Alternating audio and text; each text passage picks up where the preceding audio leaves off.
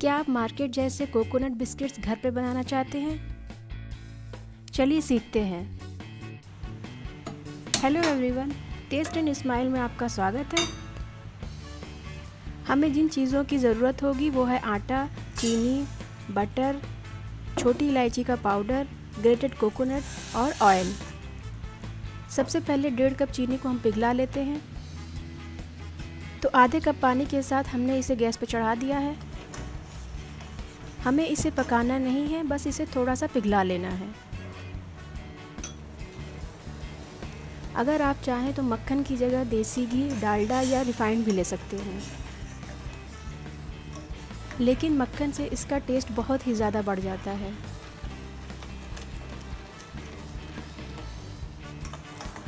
तो चीनी पिघल चुकी है, अब गैस को बंद कर देते हैं। चीनी में छोटे छोटे दाने अभी बाकी हैं। जो बिस्किट में बनने के बाद बहुत अच्छे लगते हैं।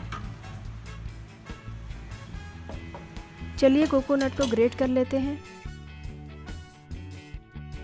इसके लिए छोटे होल्स वाला कोई भी ग्रेटर ले सकते हैं।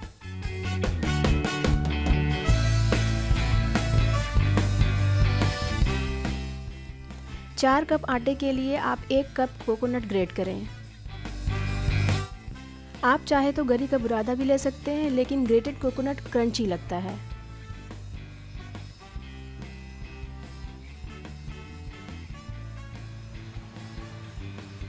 आइए डो तैयार करते हैं।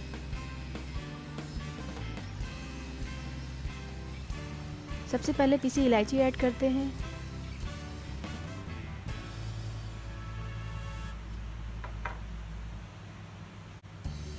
अब इसमें लगभग 40 ग्राम बटर ऐड करते हैं। हमने अमूल बटर के 20 ग्राम वाले दो पैकेट लिए हैं। आप कोई भी बटर ले सकते हैं, बस वो सॉल्टेड होना चाहिए।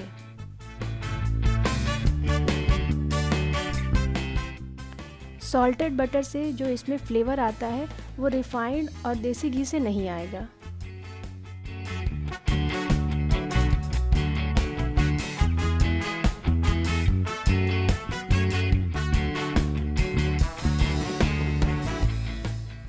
तो इन सबको हाथों से अच्छी तरह मिक्स कर लीजिए।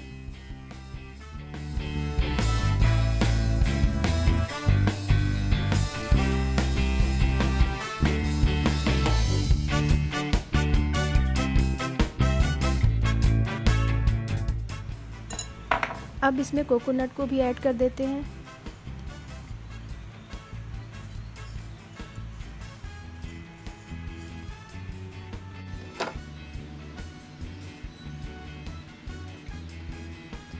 हमने जो चीनी पिघलाई थी, अब वो ठंडी हो चुकी है। आइए, अब उसको भी ऐड कर देते हैं।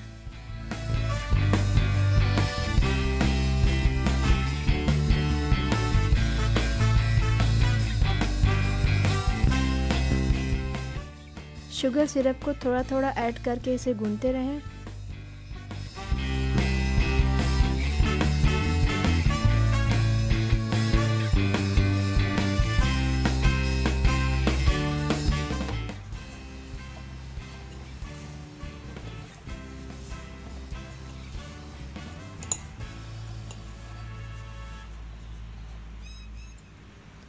डो रेडी हो चुका है। आइए अब इसके बिस्किट्स काटते हैं।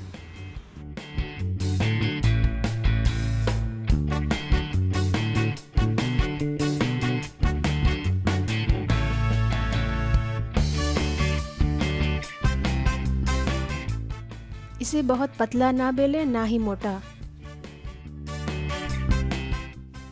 अब इसे किसी कुकी कटर से या छोटे गिलास से काट लें।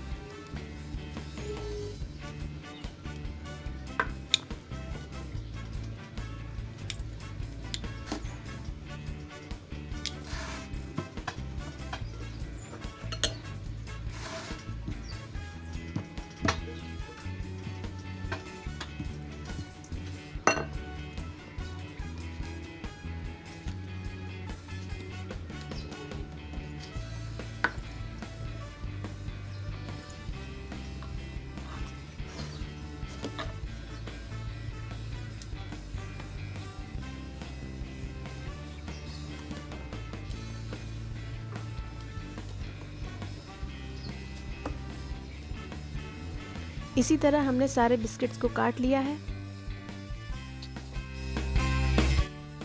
चलिए अब इसे फ्राई करते हैं। और इसके लिए हम कढ़ाई में रिफाइंड डालते हैं।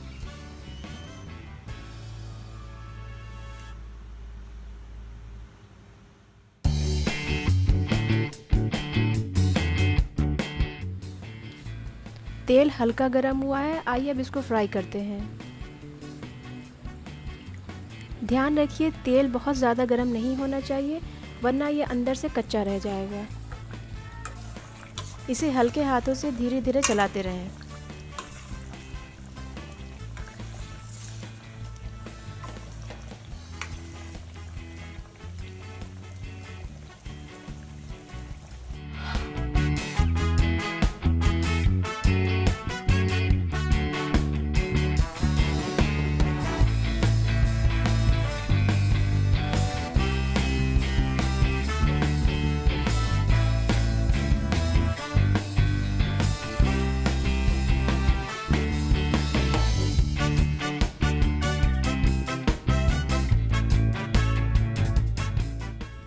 अगर आप इसे लगातार धीमी आँच पर पकाएँगे तो ये हमारी ही तरह बिल्कुल परफेक्ट बनेंगे। इसे लगातार घुमाते रहिए और पलटते रहिए।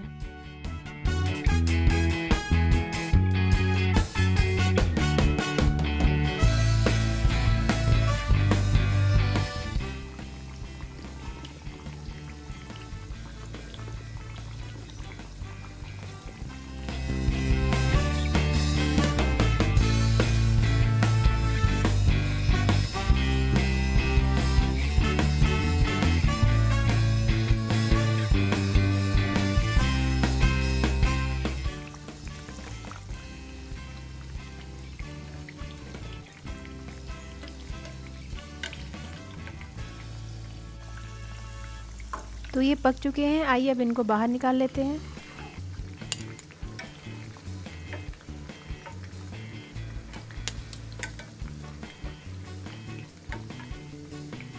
देखिए, है ना शानदार? इसकी सरफेस भी क्रैक्ड है, जैसे मार्केट वाले बिस्किट्स की होती है।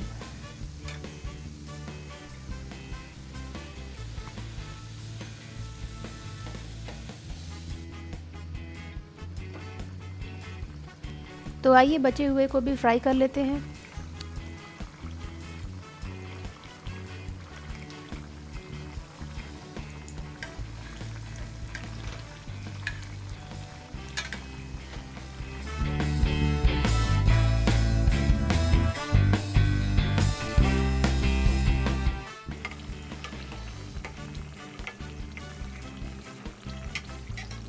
हमने जो इसमें बटर ऐड किया है, उसकी वजह से इसका टेस्ट और टेक्सचर बहुत ही अच्छा आता है।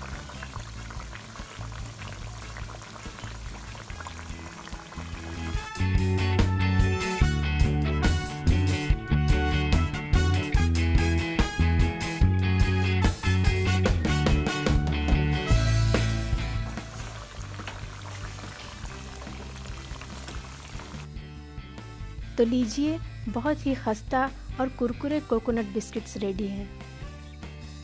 उम्मीद है बच्चों, बड़ों और सभी को बहुत पसंद आएँगे।